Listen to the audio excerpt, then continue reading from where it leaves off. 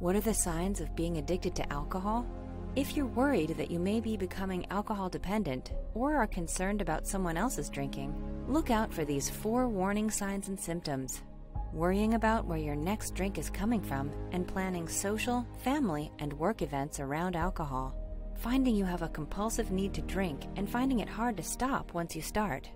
Waking up and drinking or feeling the need to have a drink in the morning. Suffering from withdrawal symptoms such as sweating, shaking, and nausea, which stop once you drink alcohol.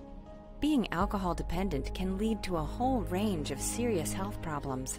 It may increase your risk of developing high blood pressure, stroke, coronary alcohol related heart disease, and alcohol related liver disease.